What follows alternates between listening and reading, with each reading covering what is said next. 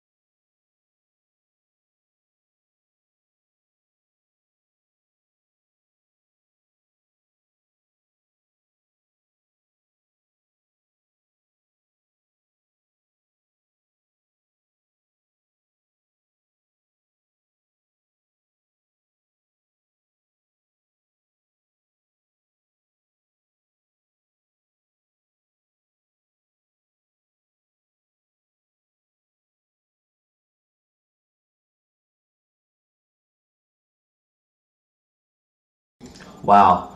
Uh, so, yeah, um, I've been doing this uh, this uh, stuff with like defining functions, and it's been really easy. It's uh, super intuitive to me, and I don't know if this is just I don't know why they had this so late in the uh, sort of learning hierarchy because I feel like um, I don't know. I feel like uh, like dictionaries are might be more difficult than defining functions, but um, maybe it's important. I don't know. I actually have no idea. Why can you guys hear that? There we go. Sorry about that. That was uh, what was playing in my AirPods, and then I disconnected my AirPods and it went to just my speaker audio, which pipes to you guys. Um, I'm gonna pause this video. I'm gonna come back once I have some thoughts. One one moment. Okay, so as you may know, last night I went to a rave. Um, I talked about it. It was for Halloween, um, and it went pretty well. I left my house at um, six p.m. Um, and I got to the local strip mall at 6:40. Um, we left the local strip mall to go to the rave at 7:40. We got there at 8 8:40 about. We got there at 8:40 and it started at 9. So we got there 20 minutes early. We got in pretty early. It kind of sucked because we showed up and it was just empty. Um, and it's actually it was actually a little crazy because I expected people to like eventually stop coming in, but it was crazy because just the longer the night went on, the more people showed up. Like it was just sort of a, a linear increase in the amount of people there.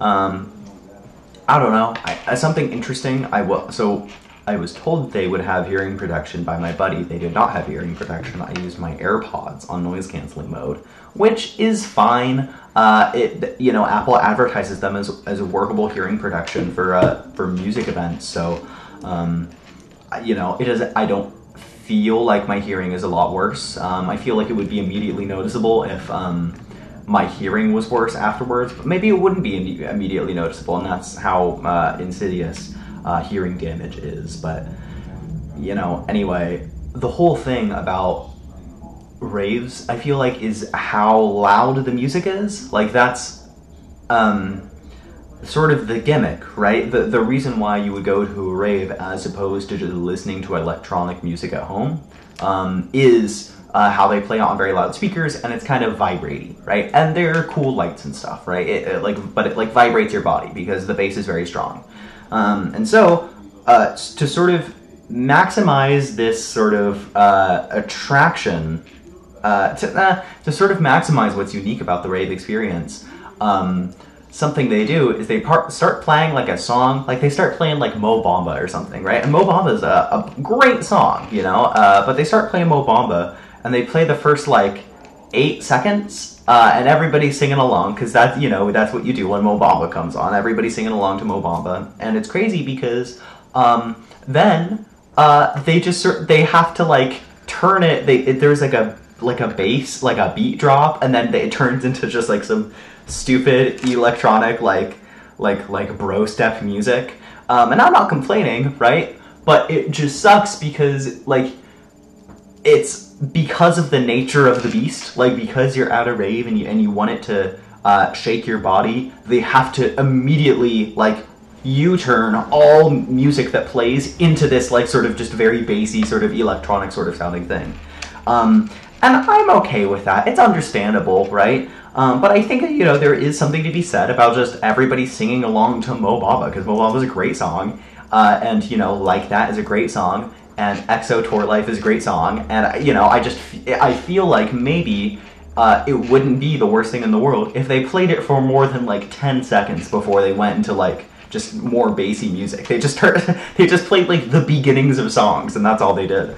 Um, they also played like Carnival four times, um, but only uh, the the part with the chanting because it, presumably that's it was actually just very strange. It was like it, it's like they got all the parts that people know from the songs, and then that's all they played. It makes me wonder if this is how raves always were, or if this is sort of a, like a post TikTok sort of um, sort of a post TikTok phenomena where they just play like nine seconds of songs that people know. It, it's it's very odd.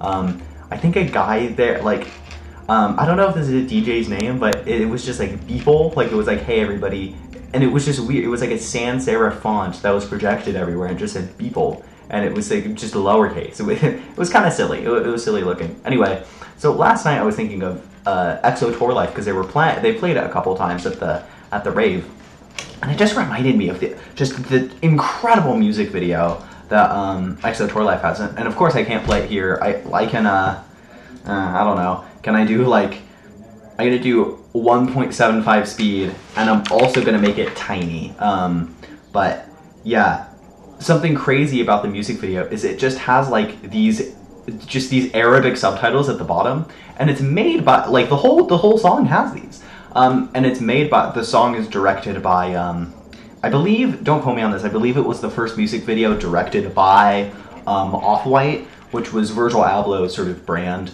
rest in peace, Virgil Abloh, the the homie and the goat.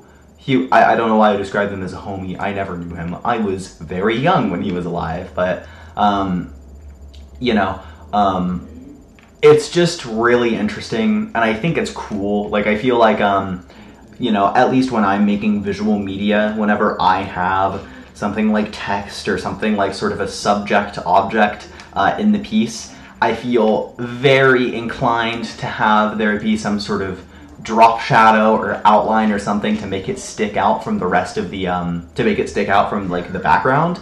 Uh, but I think it's kind of cool and even more subvert. Like I think it's cool to have Arabic subtitles on something like uh, you know, say what you will, and maybe this is just uh, coming from my American sensibility, but I feel like if you have you know yellow Arabic subtitles at the bottom of a video, uh, you're tip you're probably not going to see a very uh, good video. It's probably it probably has some bad contents, right? And so I think not only is it kind of cool and subversive to have this uh, Arabic text at the bottom of the whole video, like at some sort of like LiveLeak thing, you know that at least that's that's where my mind goes.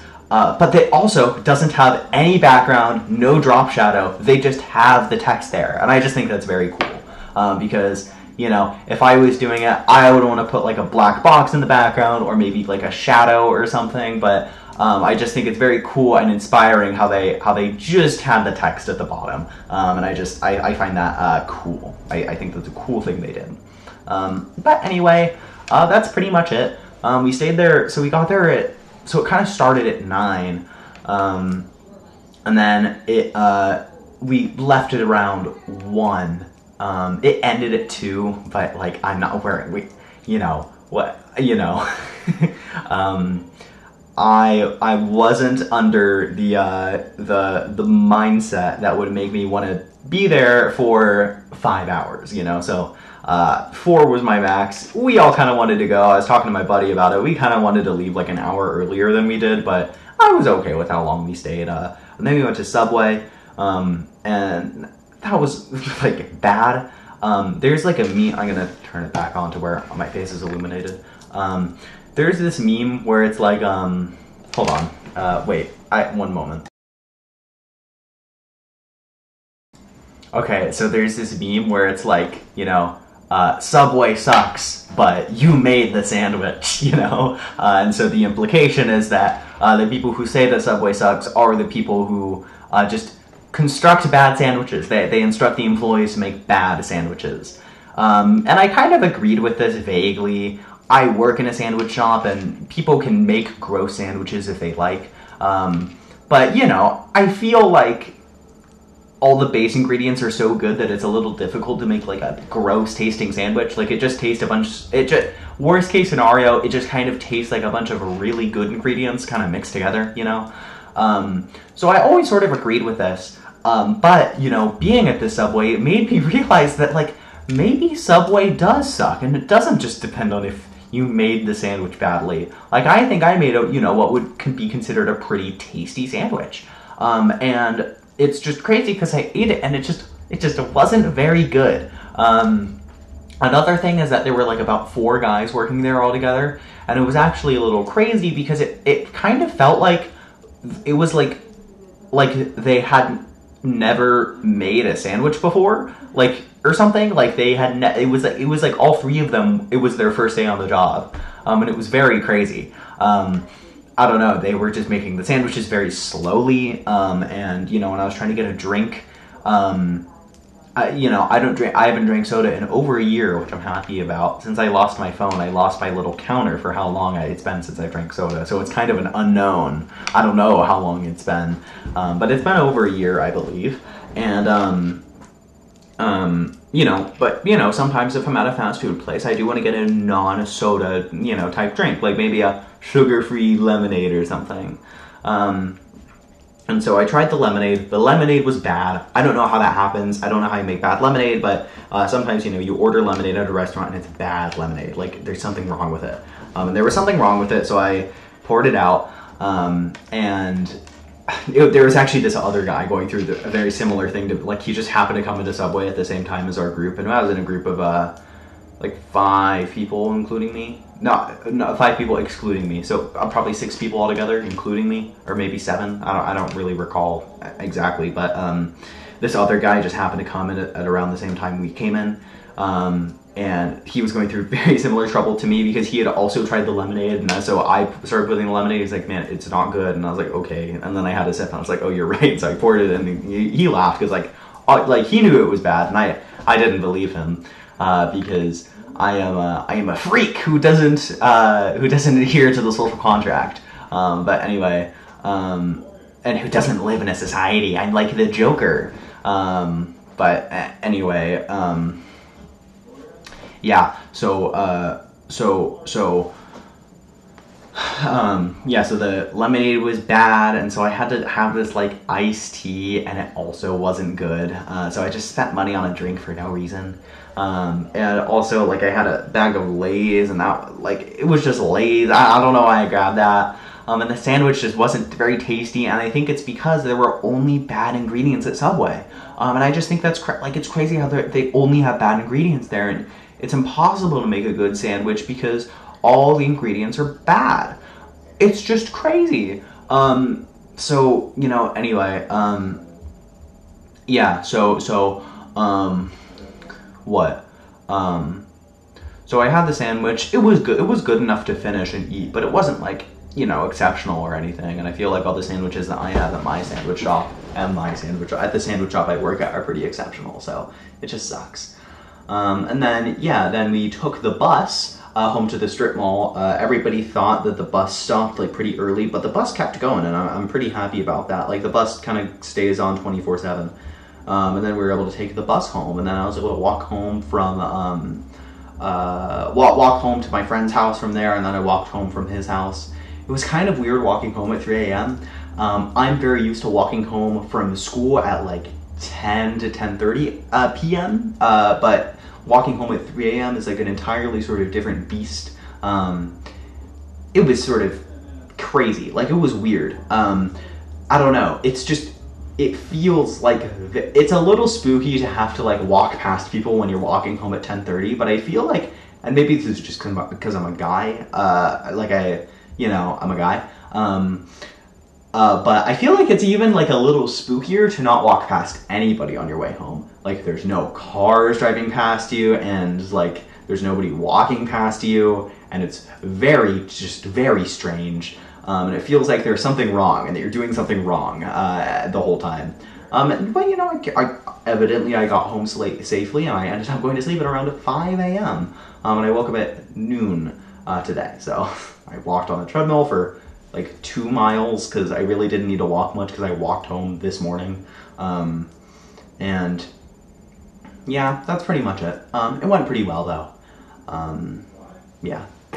I hope everybody has a wonderful day and yeah, see you dude.